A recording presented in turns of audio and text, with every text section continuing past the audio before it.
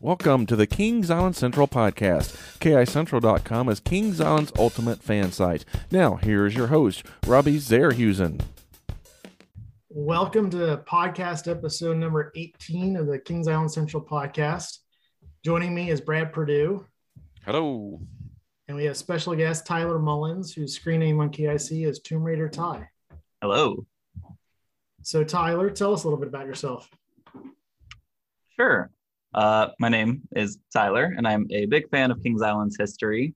I actually, uh, as I believe Brad is going to allude to later, had the chance to edit and rewrite a lot of KI Central's history pages for all the defunct attractions, as well as the timeline.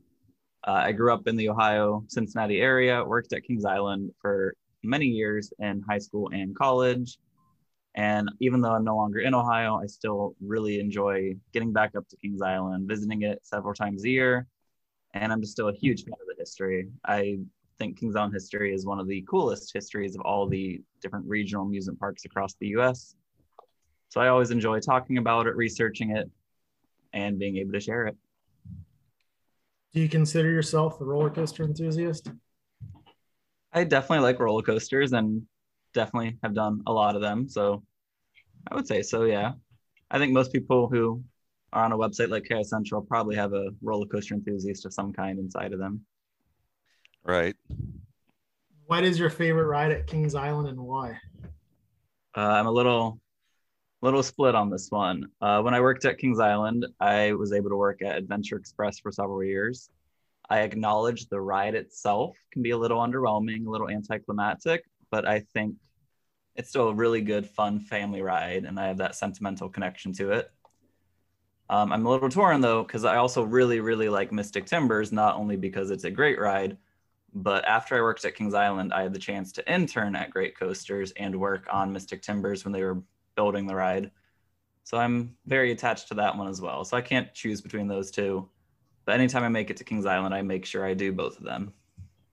I tell you, Adventure Express is a very underrated ride in general, but especially a night ride. I know that's been discussed on KI Central quite a bit. Uh, getting a night ride on that is is pretty pretty good. And it's uh and incredible how nice it's been refurbished over the past. I don't know if it was a year or two years.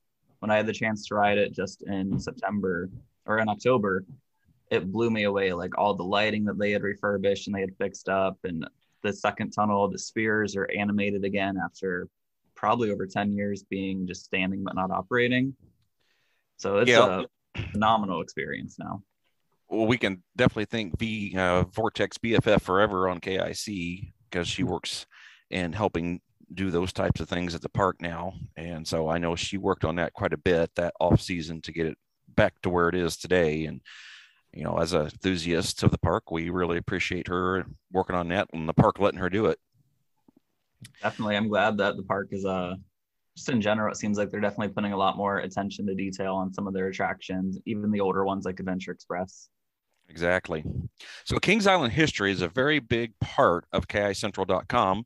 And as you kind of already mentioned, uh, you helped update the timeline, well, completely redid it pretty much, uh, and the past attractions page in our history section on the main site on KICentral.com. For one, thank you for spending the time to do that for us uh, on KIC. Can you tell us about your passion for Kings Island history and how you got started? Yeah, so uh, back when I was a kid in elementary school and I was searching Kings Island online, I actually found the former KI Central uh, competitor, I guess, of uh, ExtremePKI.com, which was later KI Extreme. Mm-hmm.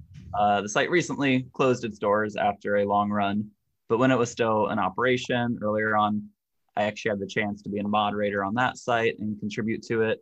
And I realized how much I enjoyed the park history. Like I've always loved Kings Island in the present day. I've always enjoyed visiting it. But I think there's something exciting about the past, especially in my situation, the past I never actually got to go and experience. I was born in the mid 90s. So anything before then is just, I never personally uh, had the chance to experience it, but I've always been drawn to it. I've always found it really interesting how things used to be at this place I know so well. So I think that kind of just fueled a lot of my interest in the park history. Right. And I think continually built over time. Um, on that old website, I had the chance to update a lot of the pages, similar to how KI Central has them about the past attractions, about the past experiences and events. And I think just over the years, the wealth of knowledge has just kept growing, as has the passion for the park and its history. Right. You've accumulated very detailed information about the history of Kings Island. What was your way of researching some of the past rides and details about the park? Yeah, I think there's been a slew of different resources for that. And one of them, which can sometimes go unnoticed, is actually the forums themselves, like on KI Central, formerly KI Extreme. Because the KI Central forums span back almost 20 years, which is incredible. Right. And there's all these firsthand accounts of how things were in the mid 2000s, which, I mean, that's over 15 years ago now. That is actually history. And that was also at that time not too far away from the 90s or even the late 80s. And so I think a lot of those old posts from some of the older members, many of who are still around posting today, I think those are invaluable. But outside the forums, uh, I love websites like newspapers.com. I love the ability to search thousands and thousands of newspapers, read about the things from when they were first reported on. And I think over the years, I'm able to build a very, very large uh, archive of photos that people have shared. Um, I think it's last time I checked, the number of files in this folder was over 10,000, which is incredible. But oh, wow. So just being able to build up that database of sorts as well as park maps, park brochures, and just having the chance to look at it, review it, study it over the years has really uh, definitely expanded how much I know on the park history. Right. What has been your most shocking information that you found out about Kings Island history? Ooh, it's always fun when you find something which I've discovered in the earlier internet, sometimes somebody will say something and then that something just gets repeated again and again. And it kind of is taken as truth. And then it turns out it's not the truth. Right. there's been a couple like weird small examples. And a big thing is with the dates that things opened or closed. Like one I see a lot is Zodiac, the old double armed Ferris wheel. Yeah. It was uh, opened in 1975. And a lot of sources will tell you it closed in 86 or 87 but then stood standing but not operating for several years, kind of like El Son of Beast did after it closed. Yeah. And that's not true. There's actually photos from Vortex's construction and when they were testing it with employees, and you can see Zodiac in the background being dismantled. The ride did not ever sit standing but not operating for a year or longer. Hmm. So that's like not like crazy shocking, but I just think it's interesting when you have these cases of these things have become taken as fact and they're not actually fact. And it's always exciting when you realize something. It's like, wait, this goes against what everyone said or thought. Like there's actual photo or video evidence that contradicts this. Right. Uh, one other fun thing, which I don't have the verification if it's true or not, but something I find fascinating and I suspect it is, is Skylab, which closed in 97. Most people have always assumed it was just scrapped but it actually appears to then just have been relocated to a park in South America and has been operating ever since. And it's still at that park. Hmm. And I'm still trying to like verify if it is actually our ride. It is the same type of ride. It's a Huss Giant Enterprise, which there weren't many of those built. Right. Everything's lining up that it is Skylab, but I have yet to be able to, you know, verify 100% without any doubt. Right. That one, hmm. that one was really exciting to stumble upon and that is interesting. Yeah. When you started collecting Kings Island history, did you know what you wanted to do with it? All that information you collected? No, but I'm really glad that I was collecting it because I think with the internet, some people think it's permanent with a lot of these websites. And when someone's posting something, there is truth to the fact it never goes away. But then sometimes it becomes a lot more hard to find so I'm glad that my former high school self had the habit of always saving these photos that people would share and writing down the information. I don't think I ever foresaw using them for anything, which makes me glad I'm sa- I saved them at the time. so, which writer information have you wanted to learn more about that you've found to be the most difficult to obtain? Oh, that's a good question. Um, hmm. I'm gonna have a two part answer for this one. Oh, okay, Uh, good. I love Enchanted Voyage. I never did it because it was gone years before I was born. And there are some videos of it. There's some great photos of it. I think that ride's really interesting with the scale of it because it was a Disney style ride at a park like Kings Island, a regional park. Right. Normally, you don't see that complex, intricate ride. Um, so I'm always excited when I find photos or videos of that attraction. And one of my Kings Island white whales is actually finding blueprints of it or like a layout of the ride just to see how it existed in that building, since the building is still present, now home to Boo Blasters, as well as a theater and some employee areas. Right. And then I think the other ride, this one is very obscure and I could find very, very little information about it. But I discovered there was a very minor attraction called the Critter Corral in the Hanna-Barbera section. Oh, Um, I believe it was out in the late 1980s, and it's a little hard to describe. But sometimes, if you go to the mall back in like the 90s, they had these large animals that a child, fake animals, like little robot animals, and a child could pay and they could ride on the little animal's back as it moved around the mall floor. It's a very quirky little ride experience mm. thing. But Kings Island had one in the late 80s in Hanna Barbera land. There's a video of it. There's a couple mentions of it on park maps but otherwise it's super obscure and i don't think most people even realize it ever existed that's Being new able to- information to me. yeah being able to find those like small quirky little things is really exciting because you know even though kings island is relatively a young park in comparison to some like cedar point there's still a lot of history and there's still a lot of fun things to discover and learn or in many cases relearn because it happened not too long ago relative to everything And I don't know about your opinion on this, but it sure seems like the research and history of Kings Island is probably one of the most researched uh, aside from Cedar Point. And even if not a little bit more, it, it seems like there's a lot of interest in learning about that. I think, yeah, I would agree. And I think, uh, I know one of your previous guests on the podcast was Evan Ponstengel, who did the amazing Kings Island history book. Right. And I think after that book was published, the explosion of interest in it, like I kept seeing so many posts on social media and so much excitement behind it. I think that really tells volume to how uh, much people love Kings Island and its history. I think a lot of people in the area have grown, been going to the park since they were children. Now they're bringing their own children or grandchildren. And I think Kings Island and its history is very important to those people, which is why I think that there's so much interest behind it. Right. What has been your favorite ride to research? Hmm. Enchanted Voyage is always fun, but Phantom Theater, I had the opportunity to ride when I was little, so I do actually have memories of that one. so that one's uh that one's fun just to see what can be turned up, especially because a lot of the ride still exists in some form. Um, the ride system is mostly still there. There were major modifications made when it was turned into Scooby Doo and the Haunted Castle, but it's the same layout, it's the same general system. Right. And then a lot of the props and the scenery, they've been reused year after year for Fear Fest and then Halloween Haunt.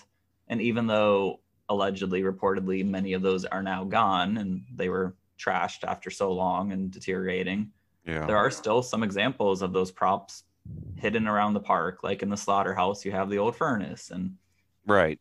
I think it's cool when you're able to link Kings Island history to the present and see where these remnants and the relics still are. Yeah, I agree. How was KICentral.com an influence on you with wanting to learn more about the history of Kings Island? I think, uh, as mentioned, I think the forums are a really, really great tool for research because you have so many firsthand accounts of everything back from the early 2000s. hmm Um, and then just a Kings KI, KI Central is a really good community of Kings Island enthusiasts. So you have a lot of people with the same with the same interest as you. Many of them who had the chance to experience a lot of these former attractions. So I think it's just been a really, really great website to be able to do research, learn this stuff, make connections. I think it's been a really invaluable tool. I agree.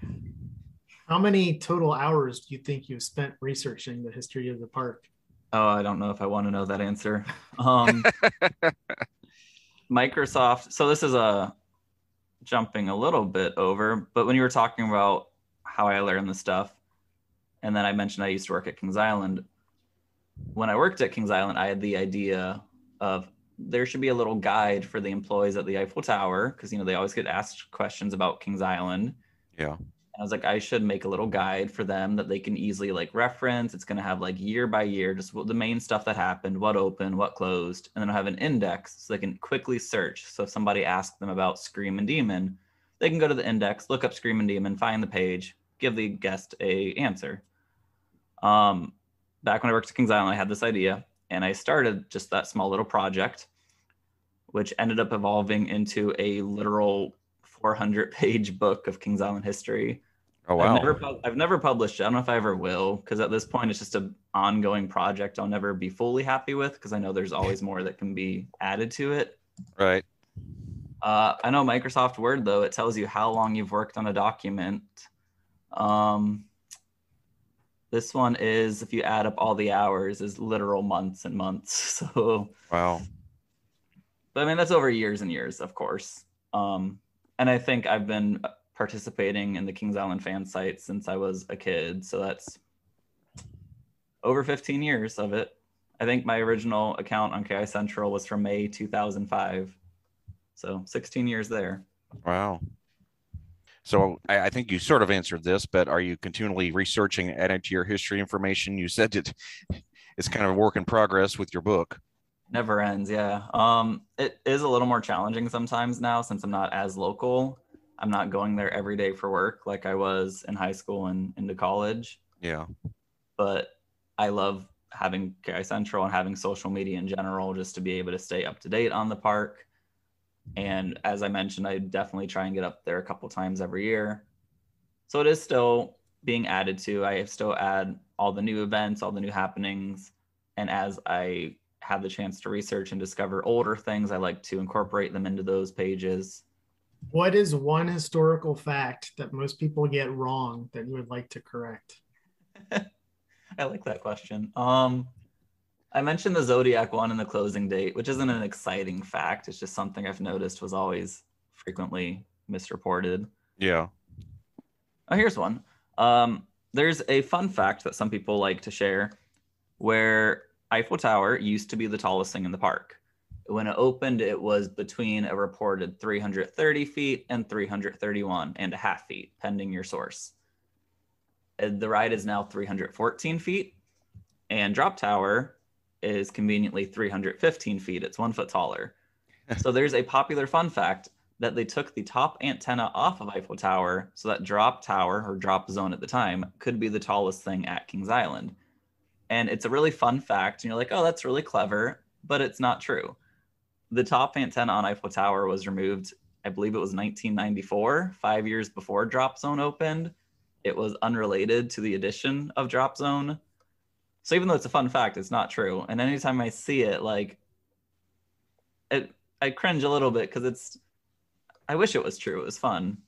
if, I, if I could set one fact straight, I think that would probably be the one. Right. So on Twitter and Facebook, there are a couple of channels called Kings Island History or KI History. What is your involvement with those pages? Yeah, so back in summer 2017, I was up in Cleveland doing a very boring internship. I needed a way to spend the time, and I realized I had thousands and thousands of Kings Island photos just stockpiled and gathering dust, really and I decided, hey, be kind of fun to share these. So I made a Twitter account called KI History. I was able to set it up so it would post a photo every day and share some fun information about it. Uh, the Twitter page slowly grew over time. And then a couple years later, I decided to also do a Facebook group, mm-hmm. which then exploded in popularity. Uh, I should have thought about this, but most people who grew up going to Kings Island they're more likely to be using Facebook now, just based off the age groups who use Twitter versus Facebook statistically. But I was able to create those groups a few years back, and since then they've really just grown in size. I think Twitter, last I looked, has about 3,600 followers. And in comparison, the Facebook group is just shy of 17,000 members now. Oh, wow. Yeah, and it's really exciting because the way that the Facebook group is structured and the way Facebook groups are structured in general, they really help create a good environment that people are able to easily share photos and memories and discuss it. And I think because of that, there's been a giant explosion in interest and a giant explosion in participation. Um, you have dozens of posts every week now. A lot of people sharing their old photos, old videos, which is fantastic because a lot of this stuff otherwise may just still be sitting gathering dust. And I think it's really exciting when people have the chance to share it with others. Yeah, for sure. It is nice to have that kind of timeline of information, uh, kind of like we have on KI Central uh, on the website. Um, the cool part about it is it's a dedicated website and um, social media. You know, people can kind of scroll um, and and take a look at it there, but it also can get a little bit mixed in with everything else going on in your feed. So um, it, it's nice, I think, to have those pages that you have created, and I enjoy looking at them and seeing them as well. So, Robbie, do you got any comments? No. what have you learned any new facts from running those Facebook and Twitter pages? Oh,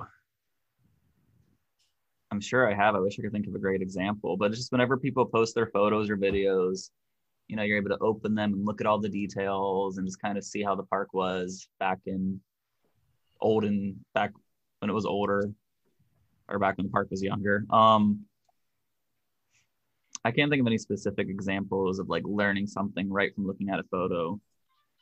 Very minor things sometimes like oh i didn't know that they once had a small little stand there a small little building there things which would just you know completely go under the radar in the big sense of kings island history and then building these massive rides most people aren't going to give much attention to.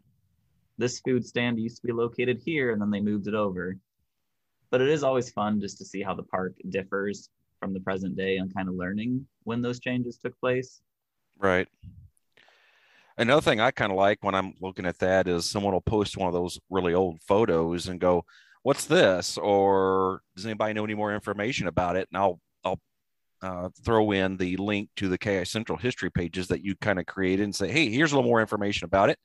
I want to say, "Hey, Tyler is the one who wrote all this, and um, we know it's good and accurate, but." I think that's kind of a good segue for KI Central as well to have that dedicated area of information about the rides as well, and that people can go look at a little bit more. Then hopefully they'll uh, they'll look more at the timeline and other rides and go, oh, I have pictures of that too, and post more. Yeah, and that was a fun project to work on. Just uh, being able to take every former Kings Island ride and take the whole timeline and just really have the chance to rewrite and enhance them, add a lot more detail, and even some of those very small things which again you wouldn't really consider would get swept under the rug of like oh son of beast it went from six cars per train to five cars per train in 2006 mm-hmm. and just being able to have a location where all this information on son of beast and all the information on all the rides is shared i think right. is really helpful yeah I, it makes it so people can have a, a good reference point and hopefully learn something and appreciate kings island more mm-hmm. and as you mentioned if they uh are then encouraged to scan their old photos and share them on KI Central. I mean, that's fantastic because then everyone gets the chance to enjoy them. Yes, because we have a, a really big um, gallery of photos. And if you go to our photo gallery page, there's actually a link there that you can upload photos to us and we will mark, watermark it for you and add it to our gallery. So if someone who is listening who has some good photos of Kings Island history, we'd love to add them to our gallery.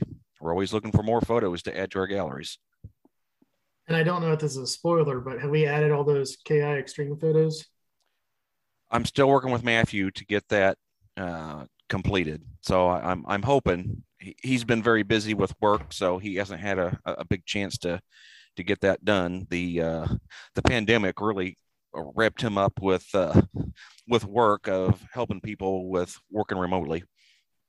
So anyone that knows KI Extreme closed down, but we have secured all the photos and when we posted them on KI Central eventually, so they're not going to get lost into the ether. I, I, would love for them to get posted about the same time this podcast comes out. So I've, I've been kind of uh, pushing Matthew a little bit uh, on that. So hopefully, uh, when you're hearing this podcast, maybe they'll be there and we'll advertise that as well.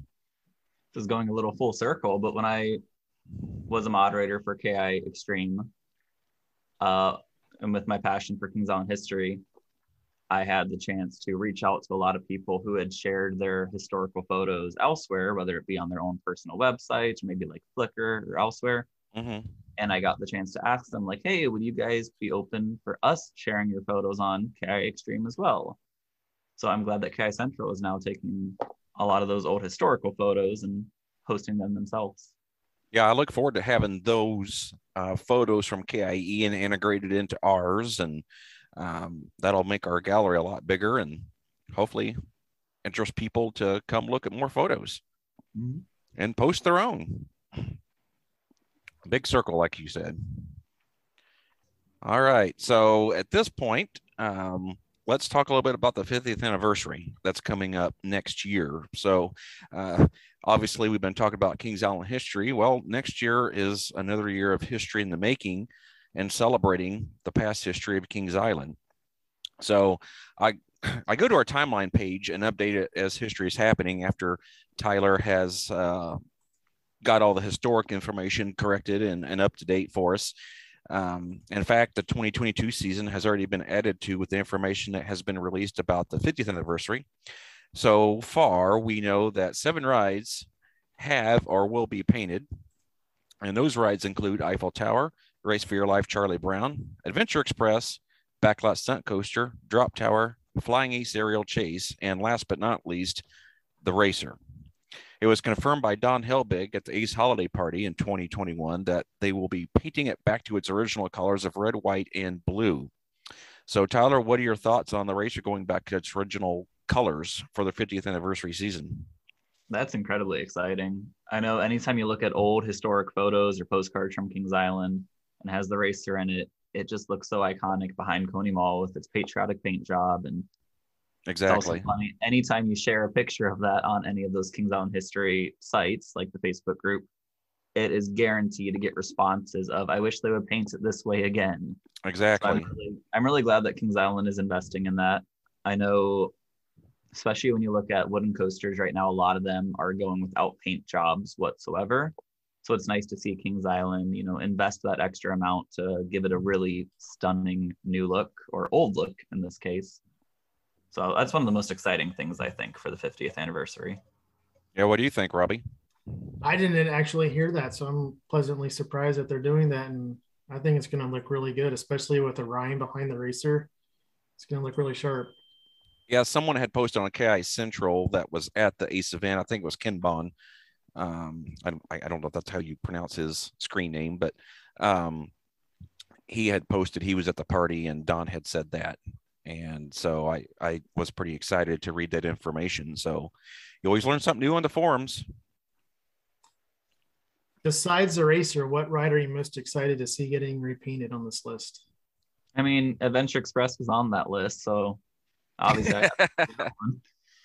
um, but I'm also excited to see Race for Your Life, Charlie Brown. I think that's a classic Kings Island ride, even if it was most of it was rebuilt in the early 2000s, but the original incarnation came from Coney Island itself. So I really appreciate when the park is investing in preserving that ride, making sure it looks as great as it did on day one. Right. And then flying Ace Aerial Chase right next door, even if it's a relatively newer ride, I think it was a little faded. So I'm excited to see it kind of have that pop of color again. And there are um, galleries on KI Central of the uh, Eiffel Tower being repainted. I think there's like 50 or 60 photos I've taken. Um, I got some of the Flying Ace aerial chase on some of its updates. I obviously don't have a, a final picture that won't come until next spring, but I do have uh, a couple galleries of a little bit of that history that's happening. So my favorite, I think, in this would be seeing Drop Tower being re, uh, repainted. Um, I know it, it, it was looking a little faded too, and so I, I the couple pictures I have seen online that people have posted on different pages, it, it, looks really sharp now, especially in the dark. When you take a dark picture in the at Winterfest, it looks pretty cool with all lit up. So, uh, 50th anniversary merchandise has hit the park already at Winterfest, if you have already noticed. Um, and it can be purchased now. What's everyone's thoughts on the 50th anniversary logo, Tyler? I'm really excited that the park is acknowledging the anniversary and that they do have a logo like they did for the 30th anniversary and I believe the 40th. Uh, I know some people have been a little cynical of the overall look of the 50th. I think it's still exciting though. I think it definitely emphasizes the 50, which is the big part. Right. I'm also just in general with the merchandise super excited for a lot of what the park has unveiled. Did you see earlier today i think they showed the little miniature eiffel tower? Yes and i think there's only a select number of those too. It's kind of a limited edition so um, hopefully if you wanted one of those you secured your uh, eiffel tower and piece of paint that came off paint chip off of it. Yeah that was a really cool uh, thing that they did. I love the fact that they have been putting these little little historical things out for enthusiasts like us to purchase. Mm-hmm. I think when the when Vortex closed and they did the track slices, that was a really clever idea. I'm glad to see them acknowledging and respecting the history of the park. And I think a lot of the merchandise they've been introducing over the past couple years has really gone above and beyond in terms of quality and it's in terms of like you said, catering to enthusiasts to a degree. I think even someone who's not a self-recognized enthusiast would still appreciate and like a lot of this stuff. But I think it's really good for the park having this really great quality merchandise now. Well, I think they've definitely found where their niche of getting money out of enthusiasts is. because those things like the vortex um, pieces that they sold, uh, those went fast. I, I, know they had them in Emporium. There was a line. There's a video out there on uh, KI Central's um, social media. I think YouTube. I took a video of the line just getting into Emporium the first day those things came on sale. So they were they were running off like hotcakes. Yeah, I was up at the park that day and I just saw people running in the parking lot with their bags to put them in the car. Yep, people were coming in before the park opened, but when they opened up International Street and um, grabbed them as soon as they could. So uh, it's definitely a moneymaker for the park and uh, something cool for the enthusiasts that uh, would like a piece of history. What are your thoughts on other ways that Kings Island can celebrate their 50th anniversary? I think acknowledging the history is just a big part of it, whether it be through social media posts. I know they've been doing the Memory Mondays on Instagram recently, which if you haven't had the chance to check those out, are really cool because they're highlighting a former attraction every Monday, showing some really great behind the scenes photos of it. Um, and then outside of social media, I'm really hopeful that the park has historical things throughout the park itself, maybe like informational signage, like I know King's Dominion did for their uh, 40th recently. Um, and I think, as mentioned, painting a lot of those older rides is really exciting because it shows that they are invested in those attractions and they want to preserve them. Right. So I'm just excited to see more examples of that throughout Kings Island for next year. Well, the park's done a good job bringing back some of the classic rides like Antique Autos and the Flying Eagles that they put in uh, Planet Snoopy. They've also been adding back little details like the Glockenspiel on the Festhaus uh, that hadn't been working for who knows how long you probably know, but I don't. uh, and bringing back the stencil designs on the International Street buildings. You know, that's a nice little touch that they brought back when they worked on uh, International Street and redid the fountains. You see any more of those types of details coming out for the 50th anniversary season? I hope so. I don't know of any specifics. I'm excited for the park to hopefully share some in the near future. I have a hunch on one. Oh, what's that? If you rode the Grand Carousel at Winterfest, mm. you would know that they have removed the band organ front. That's true. I heard that. And they filled it in with a graphic that is incorrect because it says Grand Carousel established 1923, Mm. which is kind of disappointing because their spiel on that ride is "Welcome to the 1926 Grand Carousel." I had uh I had seen a picture of the old band organ was replaced with that graphic. I guess I didn't look close enough to see the 1923. Huh. Well, Well- hopefully it's a, a temporary thing before something exciting like a refurbished band organ makes its return. Robbie, you got to take some duct tape and you know put the correct date on there and cover the wrong date and fix it. I don't think my duct tape job would look as good as the graphic they put on it. Yeah, but it's inaccurate. You could just fix the last number, you know. Any other thoughts on 50th anniversary coming up, guys? I know I'm excited to see what all they come up with for this next year.